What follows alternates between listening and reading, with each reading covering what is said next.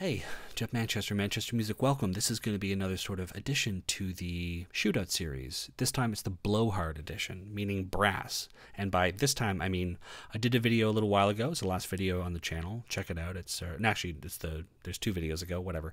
And it was a shootout with strings, uh, spiccato articulations between a bunch of great Spitfire libraries, Spitfire company who I tremendously respect who I don't work for, by the way. Someone thought that I work for them. I don't. I work for a different audio company, and it's not Spitfire.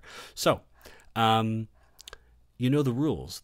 They're the same this time, too. We're going to be dealing with Spitfire, we're going to be dealing with Brass, but we're loudest matched as well across all of the libraries so that we don't get fooled into thinking that one library is superior or more powerful or whatever just because it's louder than the other one and no one else does this on YouTube. So I have iZotope's Insight here and we are playing things back at around minus 27 LUFS. LUFS is a much better gauge of loudness than RMS or anything like that. It takes into account how our ears perceive different frequencies really good. Switch everything you're doing to LUFS instead of RMS when you're mastering or mixing or anything like that. Now, it's minus 27. It was minus 30 in the other video. Someone said it was a bit too quiet, so now we're at minus 27 LUFS-ish for every sample library. So that's true. The other thing that's consistent across this video and the last one is that things are dry. I got rid of all the artificial reverb. I've close mic'd everything. We're not getting any ambient or tree or Decca mics or anything like that. This is all close mic, close up. There are some differences though. Um, we're still going to be doing spiccato sort of um, patches, articulations. In this case, it's going to be a short articulation across each one because I find that just it's consistent across all the libraries, which is awesome. But the one difference is I have a, a, melody, which I did before in the other video, but the difference here is that I'm also doing legato stuff. So I'm doing uh, sustained, um, you know, intense sustained notes. I'm basically trying to say I'm doing a Hans Zimmer sort of boah sort of sound. So um, I'll play you the melody that I'm going to be playing across each one of these um, libraries, and I'll play you the bois. And just to stay in Spitfire fandom here, uh, to be truly Spitfireish about this, I got this. Uh, I'm going to play you the test melody, but not on a brass library, but on Triple Felt Experiment, which was uh, which is a brand new sample library instrument thing direct from Christian Henson, Mr. Spitfire Audio. Go to his channel, go to his vlog, watch it. He just gave this away. Don't go there for free stuff. Just go there for the knowledge. A guy who started an amazing company and works in the industry. He is on the front lines of this industry and he's just giving away knowledge and amazing tools. So, this is the Triple Felt experiment from Christian Henson. And here's the melody that we're going to be playing across each one of these libraries. And then I'll play you the sort of bois sound and then we'll get into it. So, here is the melody on the Triple Felt experiment.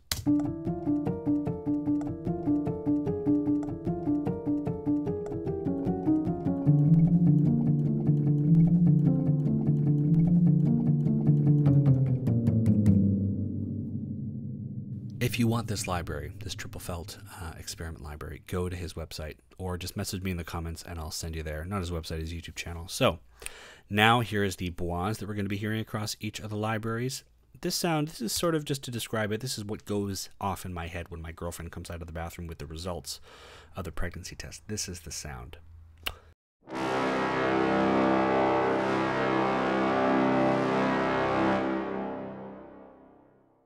A little glimpse into my brain there. So, let's get started. Albion 1, which I omitted from the first video, so someone pointed out. I just didn't have it installed properly. So, Albion 1, a bit of history. This is, I mean, this is the library that, in my view, puts Spitfire Audio on the map.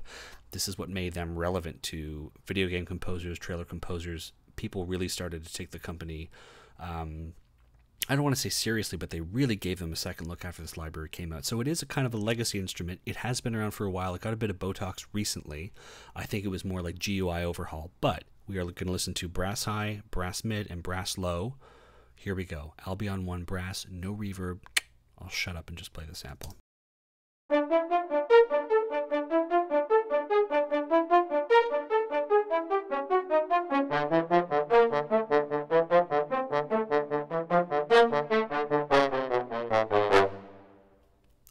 Samples twice. I'll put this back on last time.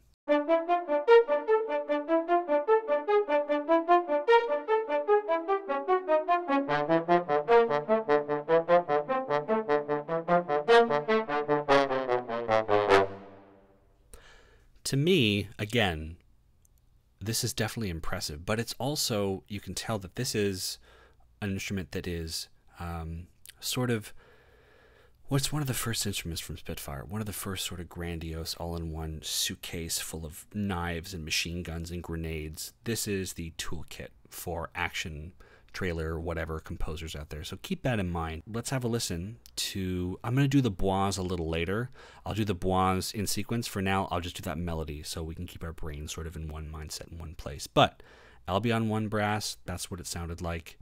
Now let's go to Albion 3 brass. And just a quick note here by the way, pro tip: if you guys want to toggle uh, different tracks and have the have the Kontakt um, instances just open up instead of you having to go press the Kontakt button here, just press this link right there. See what happens here? I will go up to uh, Albion One Brass where we just were. It's not going to change. It stays uh, in Sen, Iceni, Inceni, Iceni, uh, three. But if I toggle this button here, it'll link so that now when I go up, we're back to brass. Now when I go down to Albion 3, we're there. So just a little tip for you, okay? Now, close mic'd, anyway. Uh, we don't have a lot of options here for octaves and stuff like that, so everything's in the lower register. So what I did was I just copied and pasted the lower melody of this test melody. So it's just going to play twice. It's going to be four times to be perfectly accurate. Here we go. Albion 3 brass.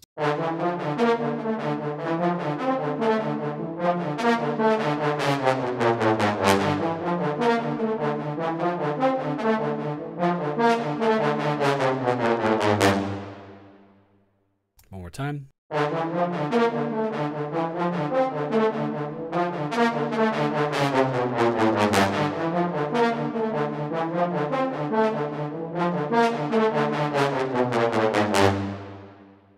sounds like a bunch of people like broke into your house and like played this in front of you and just like maintained eye contact with you the entire time.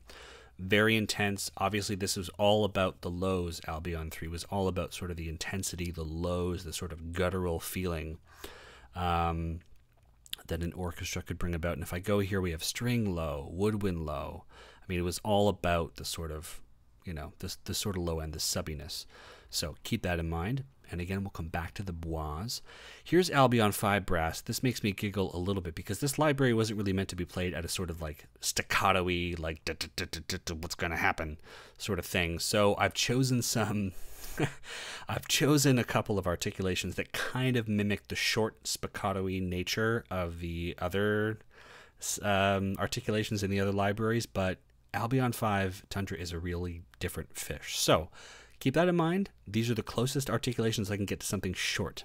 And let's have a listen. So we're using granular flutter A from the brass high and short from the brass low. I'm going to play it twice. Here we go. Albion 5.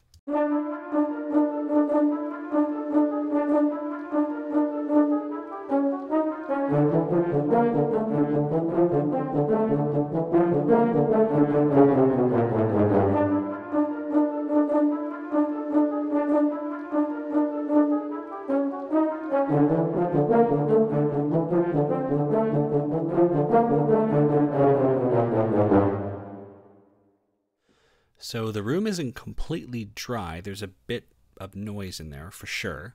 Um, and again, I think it sounds really cool. You can hear the thing I loved about if you go watch the other video, the the shootout that I did with the spiccato thing with uh, with strings, you can really hear the human element to these libraries, uh, to to to Albion Five. So you can hear things clicking. I thought I heard a guy's nose whistling. It could have been like tape hiss. I'm not really sure, but there's something I really like, something very physical about Albion Five, and I think it's sort of um, it, it shows up in in this library and in that pass that I played right there. So anyway, let's move on now to uh, the Bernard Herrmann Brass Library, which um, has a whole different flavor, which I really love. And here we're using, okay, I guess I move that up there. Let's move it back down. We are going to be using horns, mid brass, and trombones. I'm not really sure what mid brass is composed of or horns is composed of. The details are a little bit uh, scarce online. If you go to the, the website, they're not very clear, or it could be that I'm uh, I can't read, so maybe it wasn't there. But close mic'd, no reverb. Let's go.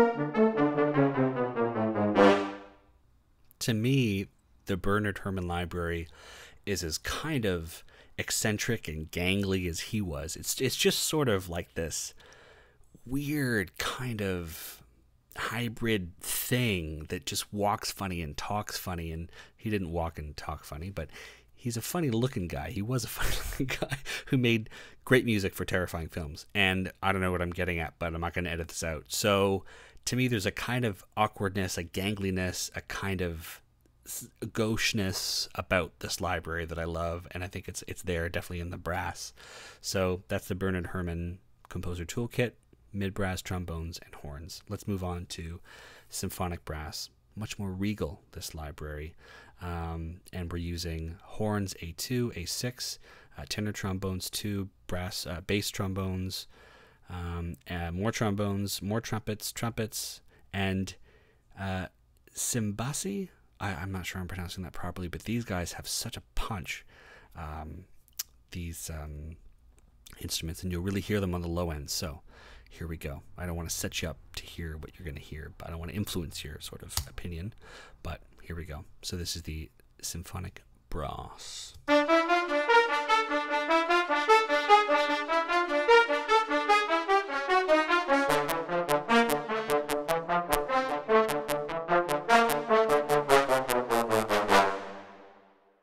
Obviously that's pretty intense, especially the Cimbassi. I'm not really sure. Let me solo that just so you can hear how crazy that is. So let's just solo it and play it from the, the midsection here.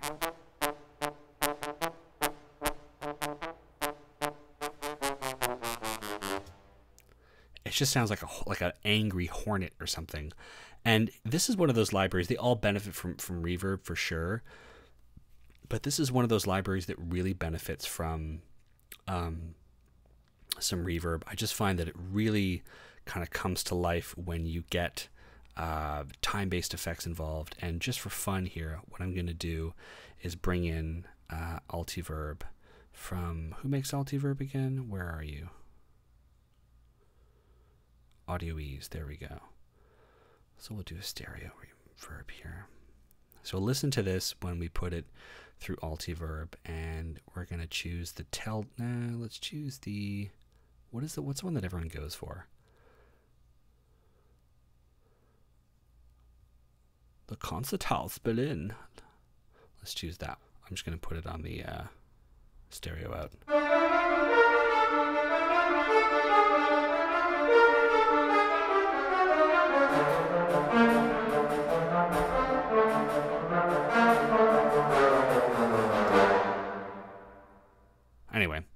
Want to show you what symphonic brass sounds like in a, in a place where it's kind of really, you know, it really it really needs uh, it doesn't need reverb, but you know it benefits from reverb tremendously. I think so. Let me turn Altiverb off, and now I'll go to Mas and play that melody.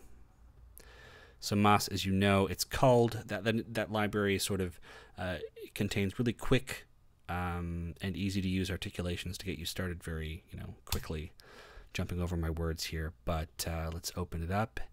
And it covers a pretty good amount of frequencies here uh, on the piano side. So I'll play it again. Here we go. It's going to sound a little bit like symphonic, but it has a different sort of character to it.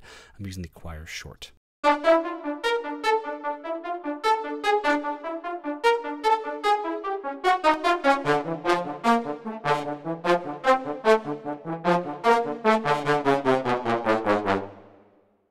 More time.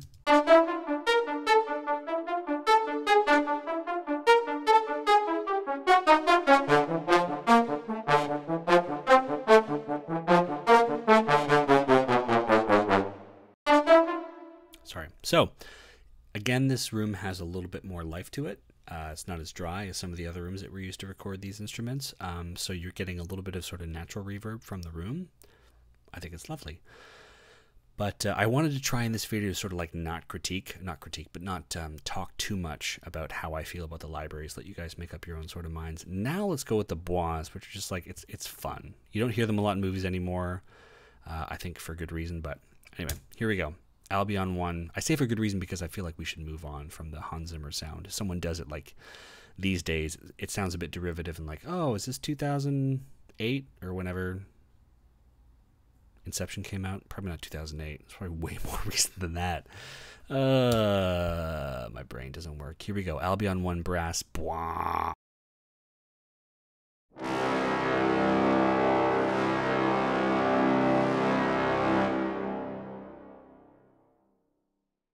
That's intense. Let's go right to the next one. Albion 2 Brass. Bwah.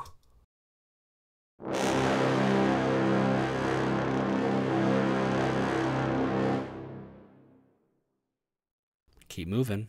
Albion 5 brass. And again, Albion 5, remember, it's a bit of a, it's an interesting little library. It's not really meant for these sort of big action trailer sort of movies, but here we go.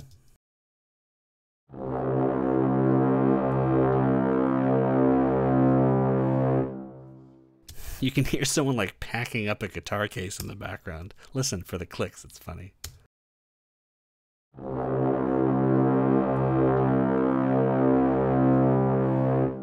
Maybe he's like spitting out the sound of his horn instrument. I don't know. One more time. Just listen for the clicks. It's, I'm having fun.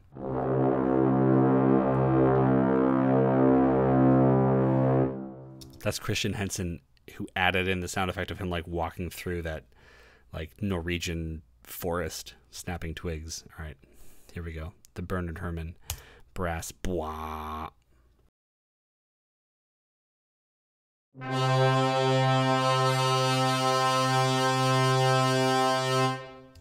I didn't have access to some of the lower um, notes here, so we had to make do in the mid range. Symphonic brass, blah.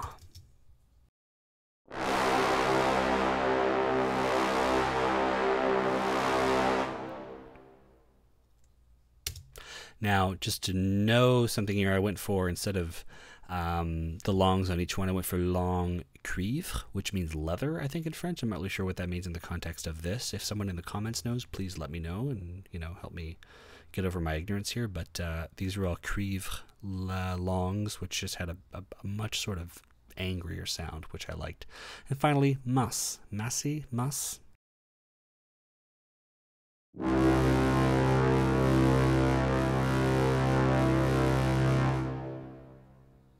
And just so you know, I'm playing two C's, right? Just like an octave apart for each one of those things. So let's do a grand sort of roll call, okay? And we'll do the melodies first. We'll play them one each. Albion one brass.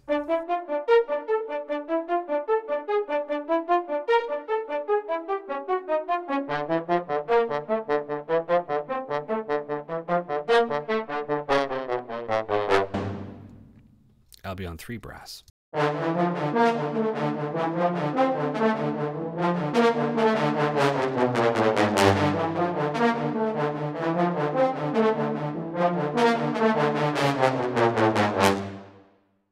Albion five brass.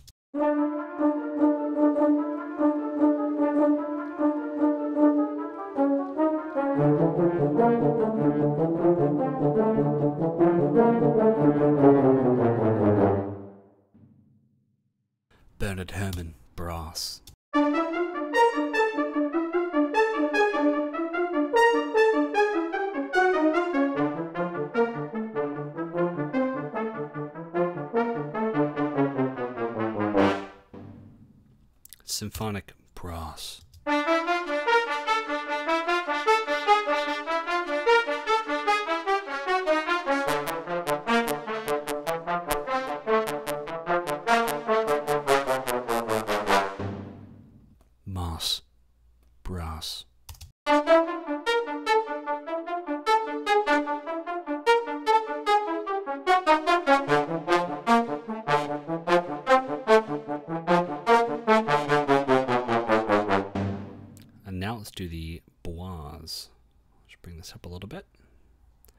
Mas bois.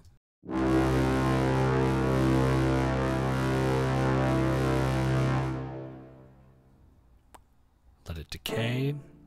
Here's the symphonic brass bois.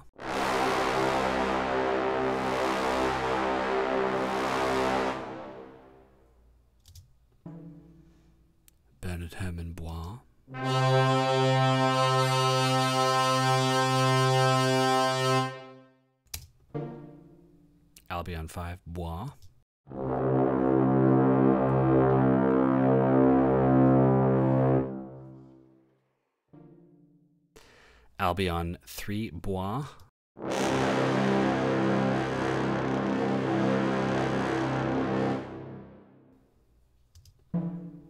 Albion 1 Bois.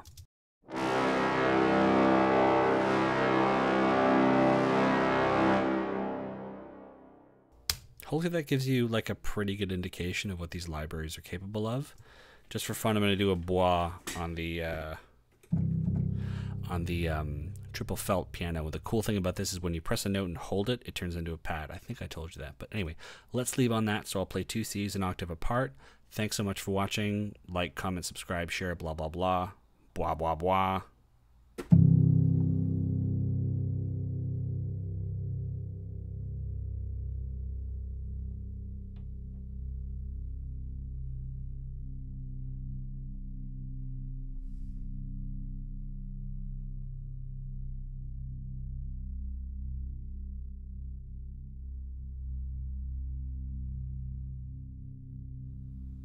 Ghost of Christian Henson right there.